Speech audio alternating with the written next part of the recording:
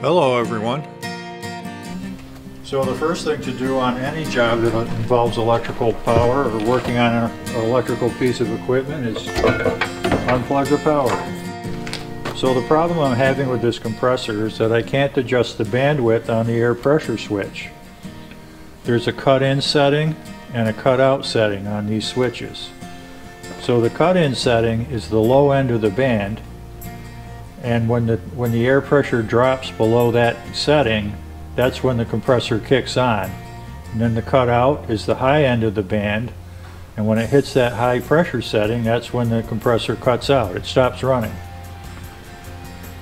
The problem with this one is right now I can adjust the high end. There's a screw there's a screw adjustment to bring it up so it'll cut out at 125 but when it's set for 125 it cuts out at 80 psi and it should be 95 psi to 125 psi I had this open before. There was a loose part in there floating around that I it clips onto the bottom of the switch in there. If you've ever taken one of these switches apart it's next to impossible to put back together again. I managed to get it back together again but that little part fell right back out. It clips on, it unclipped easily and fell out. So it's time to replace this switch. I bought a new one and it's preset to the uh, 95 to 125 pressure band. Even says it right on the label here, 95 to approximately 125 psi. So I'm just going to go ahead and change the switch out. Thing's 36 years old. It doesn't owe me a thing.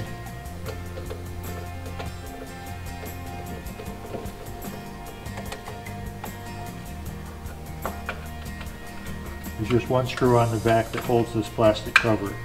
And then there's a catch on the front.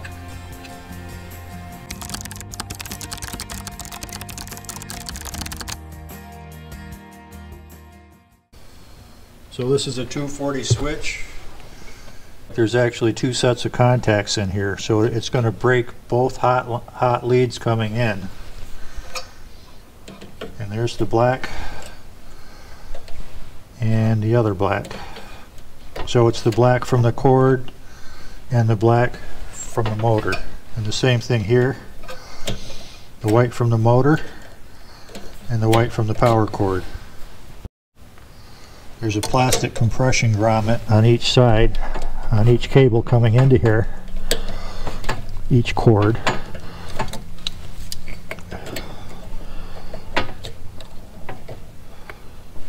And uh, when I pulled this cord out, I exposed the uh, screw down below here, the ground screw, for the ground wire.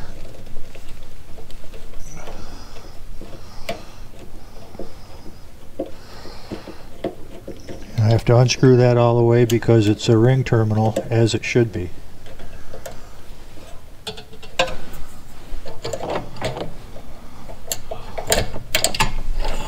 That's the power cord. And it turns out that the ring terminal from the motor cord was under the same ground screw. So I just need to pull this plastic compression bushing out of here.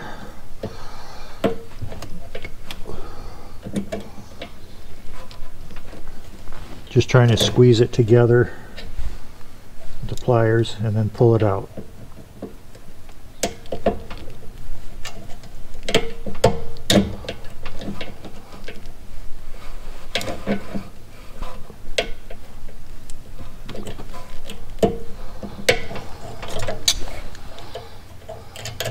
Trying to be careful not to damage anything because I just want to reuse it as is.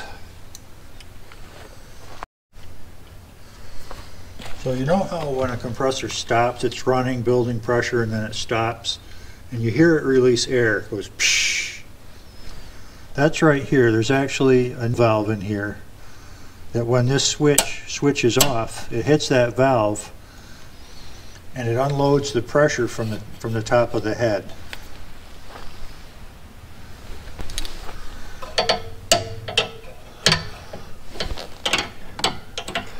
And I got a new one. And a new one came already pre-mounted on the new switch, so I just need to re remove this here.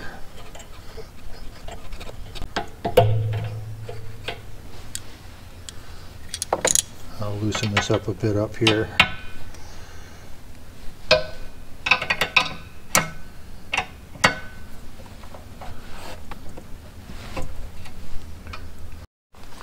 So this is the new switch, and you can see on the bottom of it, there's like a hex. It's a threaded nipple with a hex uh, nut.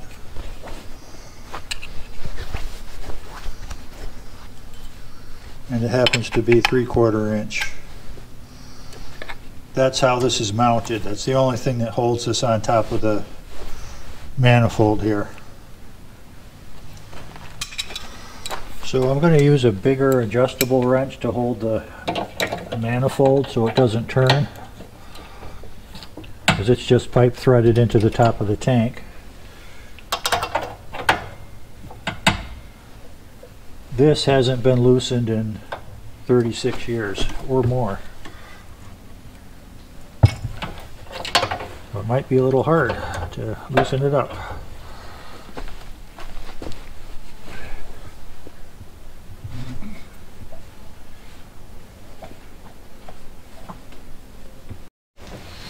Had to get some gloves.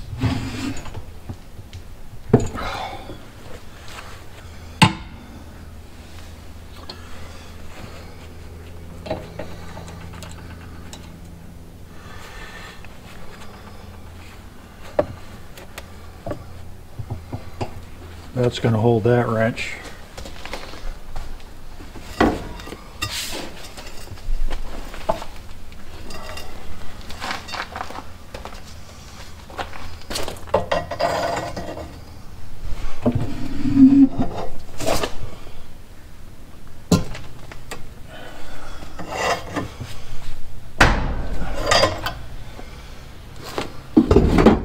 I couldn't have loosened that without a pipe.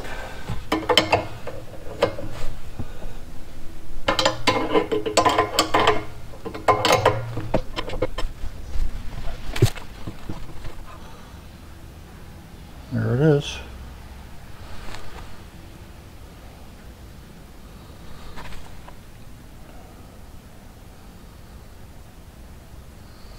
This says cut in 100 psi, cut out 125 psi.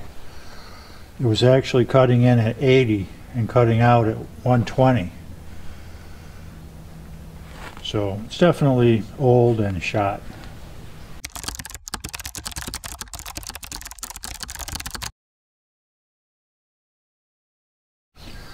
So the new switch needs the addition of a quarter inch close nipple. Fortunately I have one.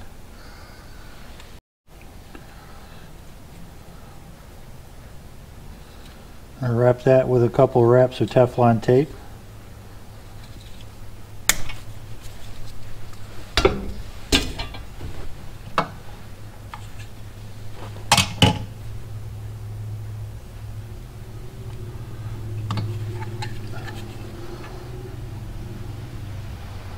And screw it in. I'll snip that off later or pull it off.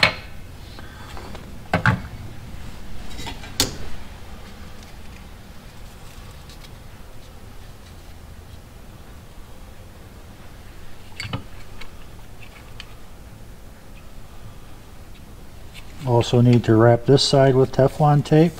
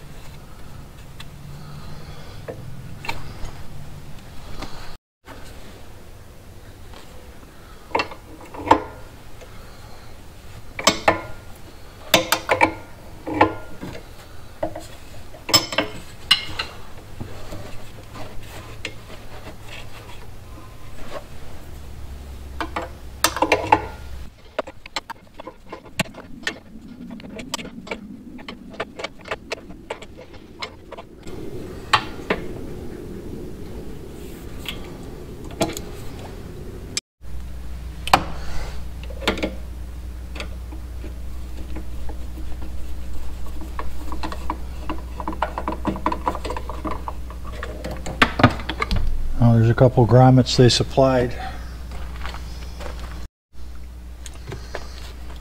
So they don't have the slip-on tabs on here.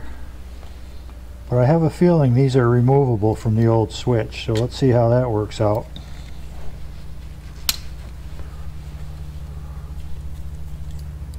Yeah.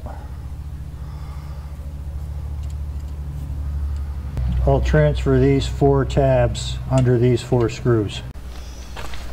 Okay, I'll start with the motor lead. Actually, I need to get them both started because I have to put them both under the same ground screw.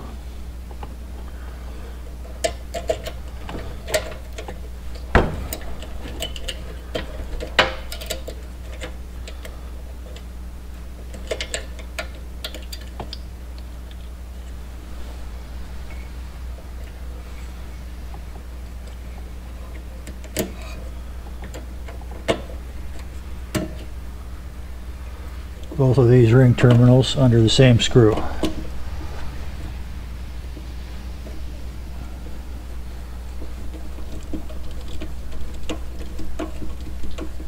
And that's for the green ground wires.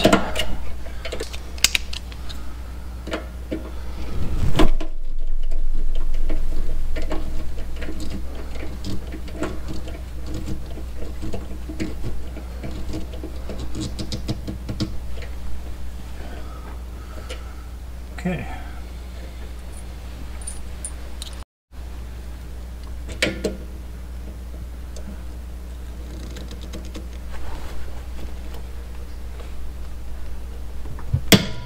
Jeez. Pretty hard to get in there.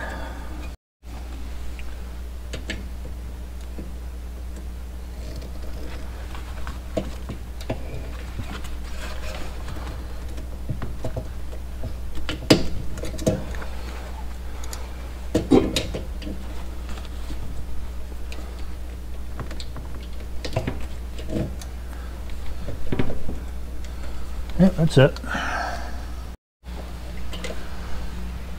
Okay.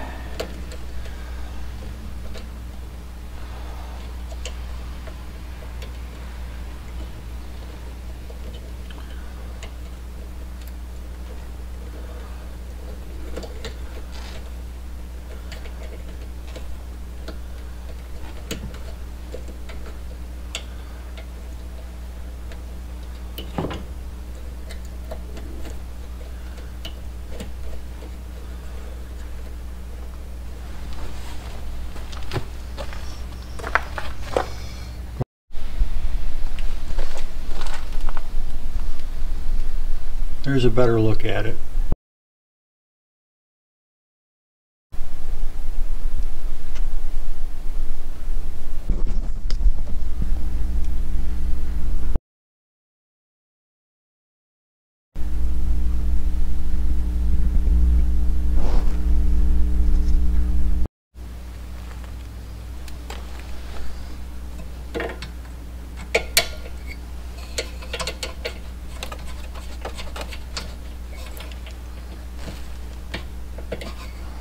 This is just aluminum tubing, I think. It's very soft and bendable.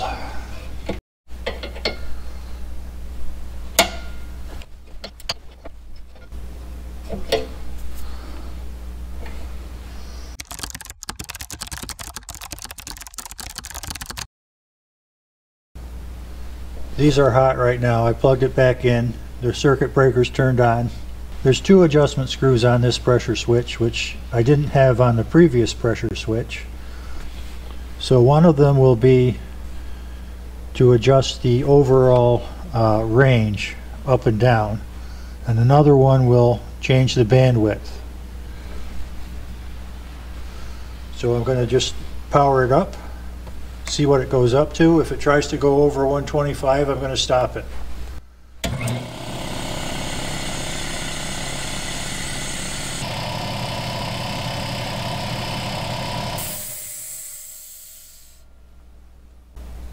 Okay, it stopped at 120. So a little low. Now I'm going to release air and see where it cuts back in.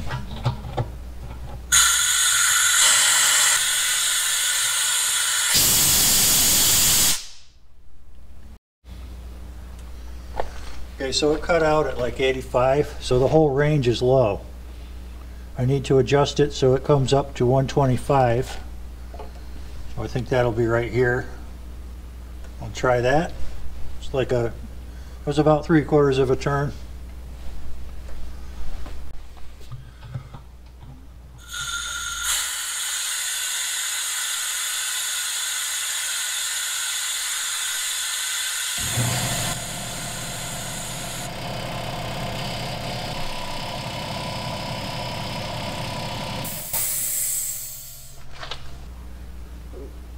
All right, that cut in at about 123, it looks like.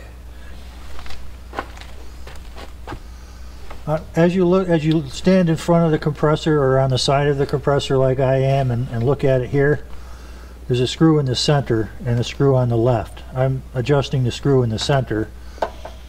Do like a quarter turn. I think that'll get it up to 125 now, and I'm gonna let some air out now and see where it cuts back in.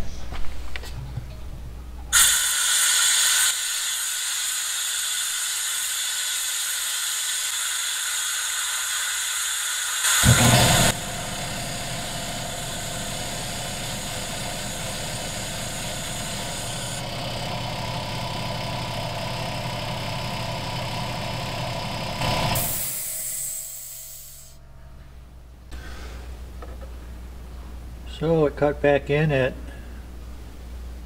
just a little over 120 again.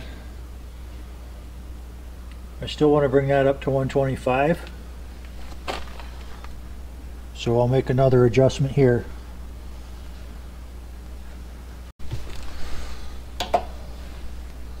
That's a quarter turn. I'm going to go another half turn, so that's another three quarters turn.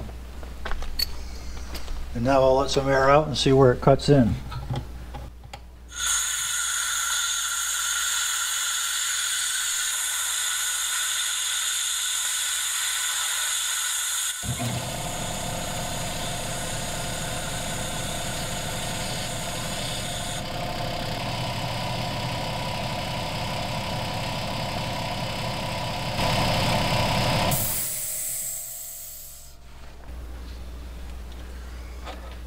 Well, that three quarters turn was too much, I'd say. It's higher than 125. I'm going to back it off just a touch. Although it's actually leaking down a little. It might be good right there, actually. Okay, I'm going to tweak this screw on the left a little bit to try to bring that cut in a little higher. I was just experimenting at this point because this cheapo switch didn't come with any instructions. I messed around with it for a while before I quit for the day. Instead of showing all the adjustments and test runs, I'll jump to an explanation of what I learned.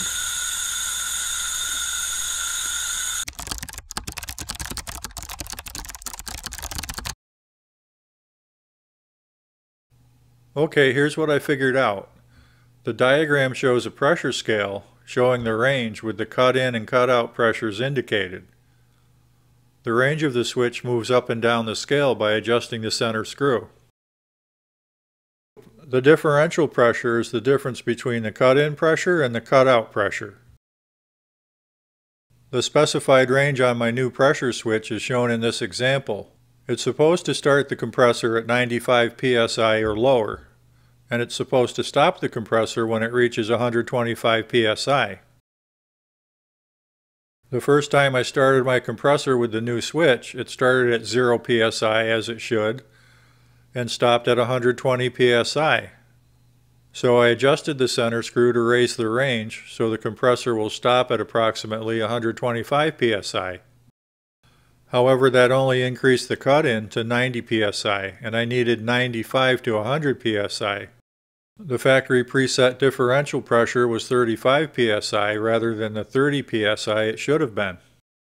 I discovered the other screw will adjust the differential pressure, but only on the high end.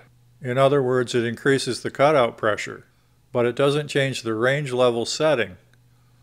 So for example, I could adjust the cutout higher, but that didn't increase the cut-in pressure, which is what I really needed it to do. What I really needed was to decrease the differential pressure to around 25 psi if possible, and there's no adjustment screw that will do that. But I discovered another method that worked.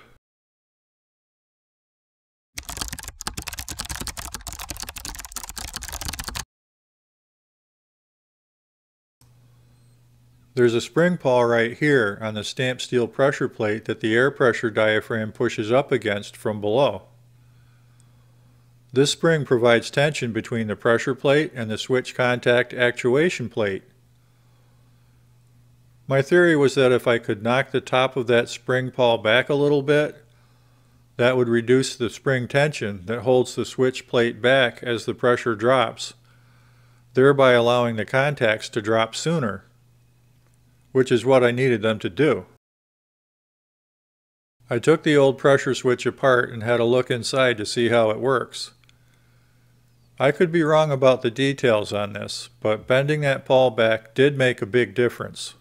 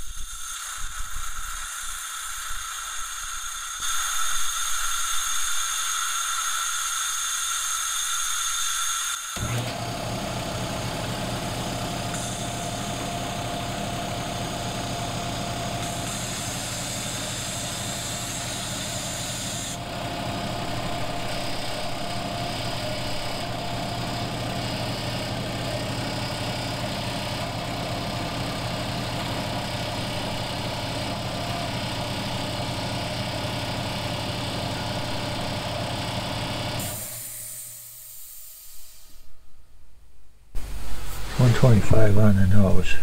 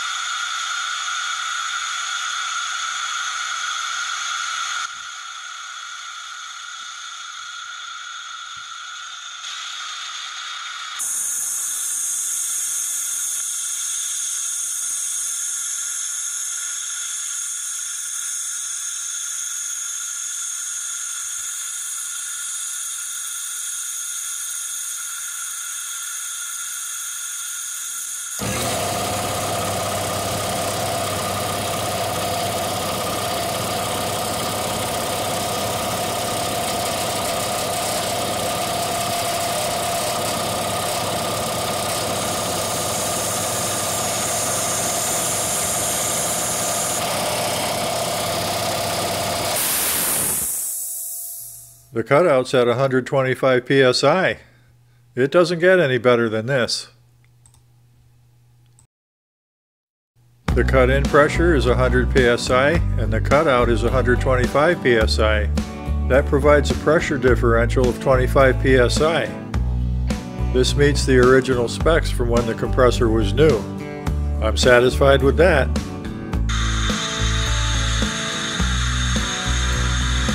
Thank you for watching. Please take a moment to like and subscribe.